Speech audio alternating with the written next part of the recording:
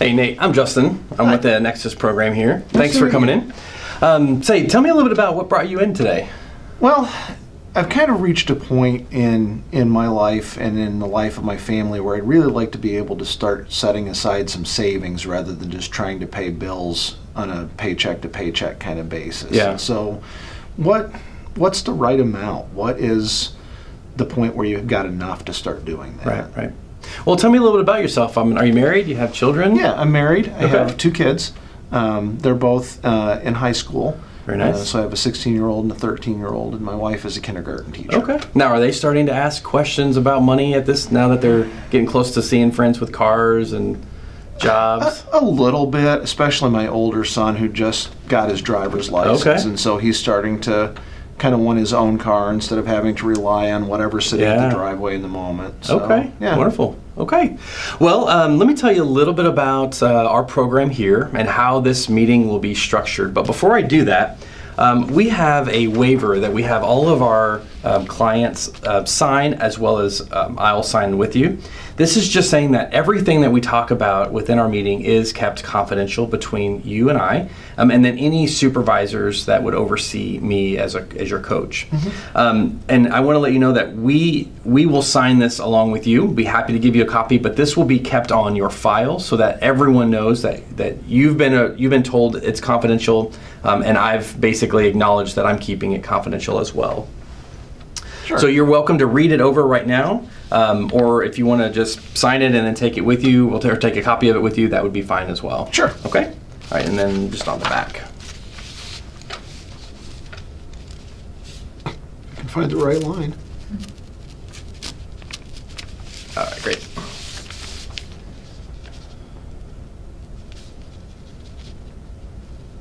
Okay, I'll put that aside. All right.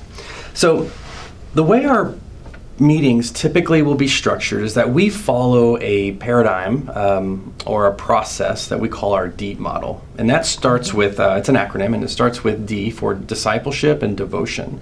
So, here in just a minute, we're going to talk a little bit about um, a couple of stories in the Bible that I think will kind of get us going along that, uh, that path regarding savings. Um, and then the next thing we're going to do is we're going to talk a little bit about your understanding of how much you should be saving and that sort of thing. And that's evaluating. It's evaluating what you know um, so that I can begin to prepare um, the second part, which is the education piece. What tools and resources do we have that can help you get to where you're trying to go?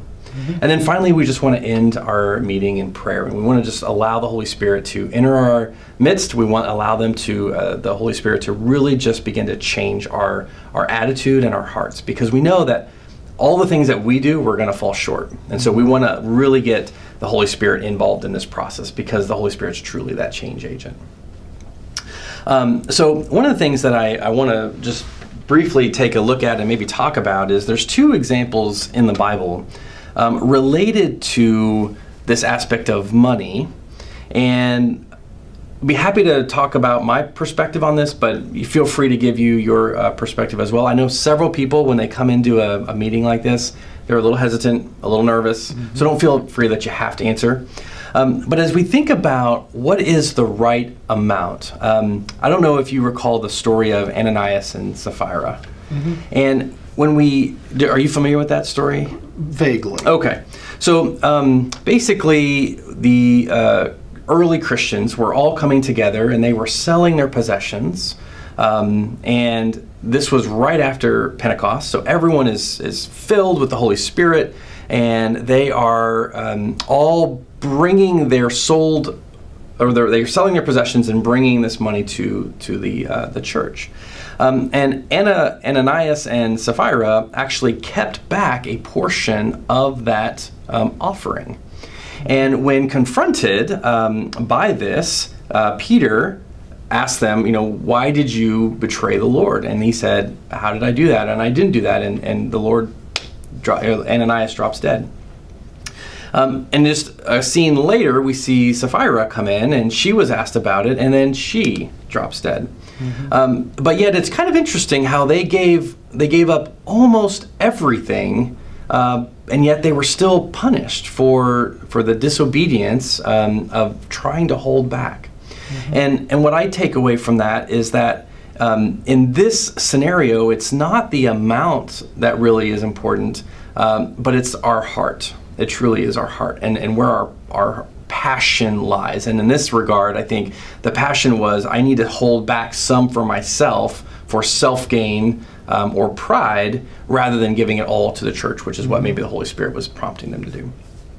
Do you have any thoughts or um, anything that come to mind regarding that story? I don't know. What where does like saving for like an emergency fund fit into that? So we'll get there. I'll kind of bring all of this back together. But what I want to make sure that we're iterating first with this story is that it's not specifically the amount that was important because they were doing something that the Bible commands all of us to do, which is to, to be generous. And they were being generous, and yet they were still punished uh, because of what they were holding back. So it's it's not the amount um, in this scenario. Um, and then in another uh, section, we um, we come across Zacchaeus, and then Zacchaeus, if you recall, was the one who was up in the tree. He was a tax collector, and as Jesus was walking by, he pulled down Zacchaeus. They went to his house.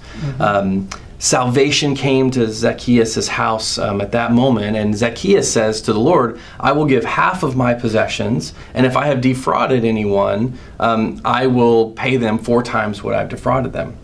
Uh, and again, we see this, this aspect of generosity, but it doesn't say that I've got to give everything. And yet he was saved. So Zacchaeus' whole heart was changed, yet he probably, in terms of what the um, percentages had to give gave a lot less than what Ananias and Sapphira gave. And again, he was saved and they weren't. So I bring these two illustrations up to ultimately answer your final question, which is there's no right or wrong answer. There's not going to be a set amount of money that I will tell you that is this is how much you should be saving for this specific purpose um, it really will ultimately come down to um, discerning and praying um, and letting the holy spirit lead you into that decision now there are some tools and resources that i can help you with that can guide you along that path which we can take a look at momentarily so any questions um, about either of those illustrations in the bible I don't think so. Okay. All right. Great. All right. So what I'd like to do now is just spend a little bit of time um, talking through this aspect of saving. So when when we generate income through our wages um, and then any other sources of income that we have, we have two options, right? We can spend it today on our on our lifestyle and our needs, um, and or we can defer it for later consumption.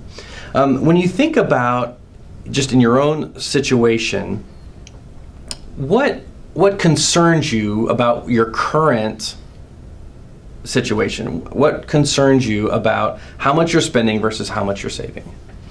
I think part of it is just realizing that, like, if there was a major, like, incident that wasn't covered by insurance or Okay. a major doctor bill or something like that, that there's no, there's no cushion there. Like, we don't have anything set aside to be able to cover the unexpected, Right. to be able to cover surprise kind of expenses, to be able to cover, like, having to replace all four tires on a vehicle without planning ahead of time to do that. What word would you use to describe how you feel when you think about something like that happening and looking at how much you've saved to potentially cover that? Like currently or anxious? Anxious? Um, how would you say your wife would feel?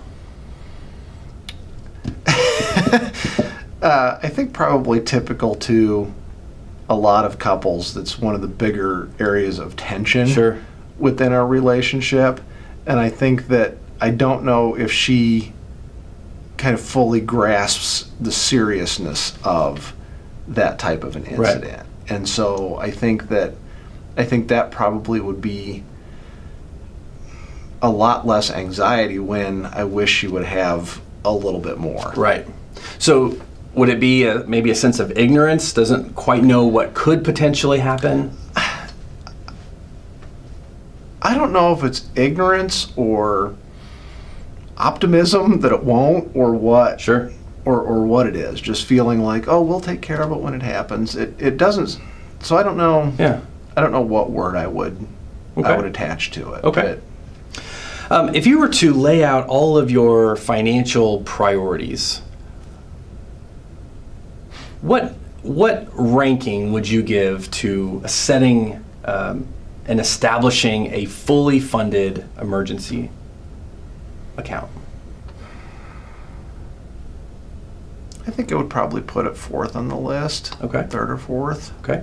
And then what will be the other three above that? Um, maintaining mortgage payments. Okay. Um, maintaining student loan payments. Okay. And then currently maintaining what we're setting aside for our kids for college. Okay. The college fund. Okay. So I think that probably kind of after those, um, right now that's kind of I think where I would like for it to be, but I think in reality it falls way behind other Right. things like paying the electric bill, Sure. paying the propane bill, paying auto insurance, Right. paying the doctor bills, paying those things that are just kind of routine. So I Mhm. think in priority, I think I would put it in my mind. I would like for it to be fourth, but I think in reality, it's probably 75. Right.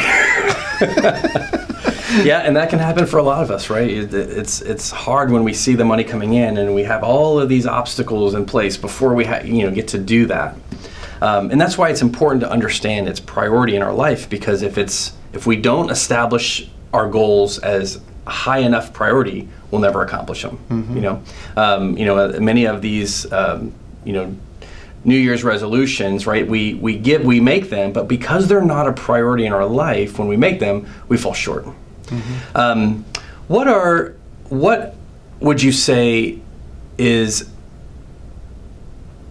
the amount of money set aside right now to cover any upcoming expenses? Where are you in terms of being fully funded? Not close. Okay. It, it kind of fluctuates. It goes up and down. Okay. And so we kind of set some aside and we call that our emergency fund, but then it ends up that maybe we're short one month on the mortgage Sure. of being close. So then we draw that out and then we commit to putting it back in and we put it back in, but then two months later something else happens. Right, and right. so the emergency non-emergencies draw that down. Sure, So yeah. so it fluctuates. Sometimes we get there to where I feel like I have a month's worth of pay there, or I have Yeah. what I feel would be enough to cover those. And then other times there's there's barely enough to cover an emergency cup of coffee if Yeah. I needed it. So Um, what would you say your risk tolerance is when it comes to taking risks? Not so much physical risks like riding a motorcycle down the street without a helmet or something, but what about financial risks? Where would you say you fall? Would you be um, low risk, medium risk, or high risk? I don't know. I would think probably low risk because I'm a worrier. Okay. I worry about things. Okay. And so that's why, like thinking about this, that's where that anxiety. Uh, is. Sure, absolutely. And what about your wife? What would you classify? How would you classify her in the same scale? Uh, high risk without realizing that she's high risk. Okay, so um, it's interesting that you that you bring that up because what I've found in in my working with individuals and couples is that individuals with low risk tolerance, the the ability or the inability to want to take risks, desire more in short-term savings, mm-hmm. and the amount of that short-term savings typically needs to be a lot higher mm-hmm. than someone with high risk tolerance. So your wife who you've classified as you know willing to take a lot of risks she may not need the feeling of security that that emergency savings provides. Therefore she doesn't need it. She's willing to take the risk that a air conditioning won't break or that the tires aren't going to go flat and need to be replaced. So um, what'll what'll be very important is the two of you coming together and discussing how do we come to a mutually agreed upon amount that we can then start to build toward. Um, so I will say this: that the literature typically will say that most people should have anywhere from three to six months worth of living expenses set aside in an account easily accessible. In other words, we're not going to put that into the stock market. We're not going to use that in terms of home equity in our house. It's in a savings account at a bank. You, however, if you're low risk tolerance, you may tell yourself, I won't feel comfortable unless we have nine months or 10 months or 12 or even a year. I've talked to people who have two years of living expenses saved in liquid money because they're they're anxious, right? They don't know what's going to happen. Um, and your wife, though, she probably could go on and on and on and not have any emergency savings. So, what I think is going to be really crucial before we start even moving down the road is getting the two of you on the same page and determining where can we both feel comfortable you and her. We know she's at zero or could be at 0 theoretically. But you could be at two years you could be at 18 months you could be at six months you could be at three months. You need to find the moment or the time frame that you're comfortable. And when she agrees and you agree once we find that balance in terms of how many months do we want to set aside from there we can start to take um, action on the money that's coming in today and beginning to look at where we can start to move resources that are currently being used for other reasons into this goal. But we got to make sure that it's a priority, right? Because if it's not a priority, um, it won't happen. And then the last thing that I'll say is that we will need to identify and and really write a list of what are acceptable uses of what's an emergency, right? Um, a 40% discount on a trip to Disney World, although 40% may never come again in, in our lifetime, may not classify as an emergency. Um, but if we don't have that list, we can ourselves, our, our human nature, our tendency is to make anything an emergency, right? I ooh, that there, there's a sale, that's that's an emergency, um, or we maybe don't need a dishwasher, but mm, I kind of like this one, so it's an emergency because it needs to be replaced anyway. So we just need to come up with a classification of, of these are the very specific things that we agree on, husband and wife, that are going to be uses of funds for our emergency. Um, and the nice thing about an emergency structure is that once that amount is established, so it's three months, six months, whatever it is, that goal now is checked off, right? It, it's mm-hmm. structured, it, it won't leave. It, it's not going to fluctuate with the market because it's in liquid cash. So I know I've talked a lot just over these last few minutes about you know emergency funds and how we set those up. What are some of your thoughts that, that have come to mind as, as we've been talking?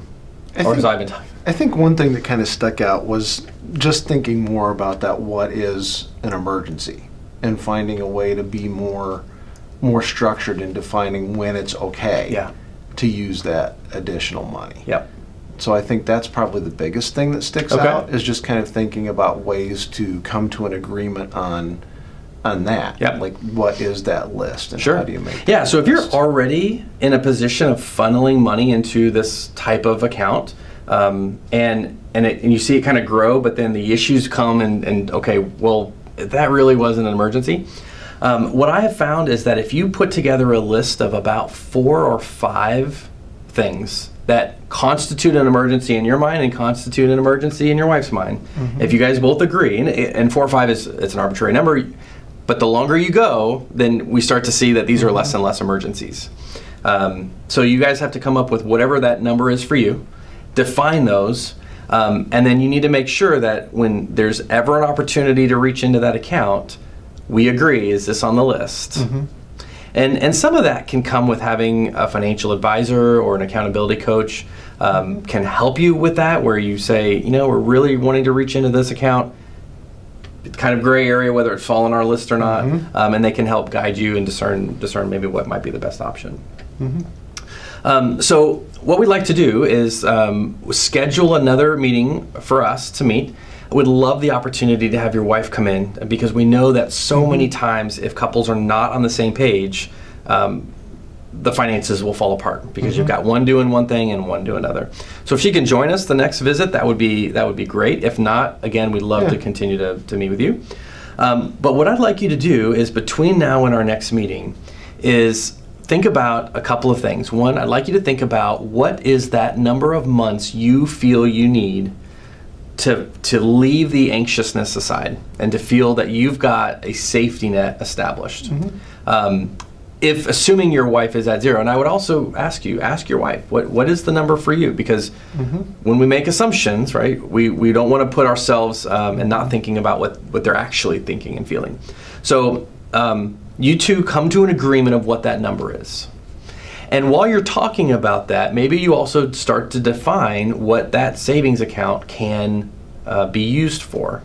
And then the next time we have you guys come in, um, whether it's the both of you or yourself, we will start looking at how can we take items within our budget and begin to reach that goal within a specific time frame. And just to give you a little bit of um, you know preview of what that meeting might look like, many people are overtly optimistic about how fast they can save money. Mm-hmm. Right? We, we've seen like I can save $100 a month, and over a few months we realize it's maybe $10 a month. So Mm-hmm. as long as we set realistic expectations, I think the progress toward that goal um, and the excitement of goal uh, attainment will be there, Mm-hmm. rather than feeling discouraged.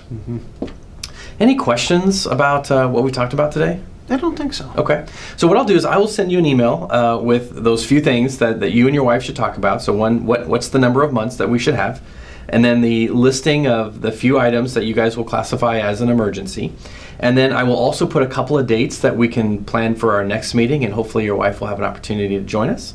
Um, and then uh, when we come back, we'll start looking at the budget to see where we might be able to begin to make this uh, a priority and an obtainable, reachable goal. Good. Okay. Um, any prayer requests that I can pray for you about? I think just prayer for this process. Okay. And just that my wife and I can get on on the same page. And I think that that will be that'll be good for our relationship. Absolutely. Just to be able to have that that common agreement and kind Absolutely. of be thinking the same way. Okay. All right, let's pray. Oh, gracious Father, we come before you and we just thank you so much um, uh, for the heart of Nate um, and where he's trying to get to um, in a position of being a, a faithful steward.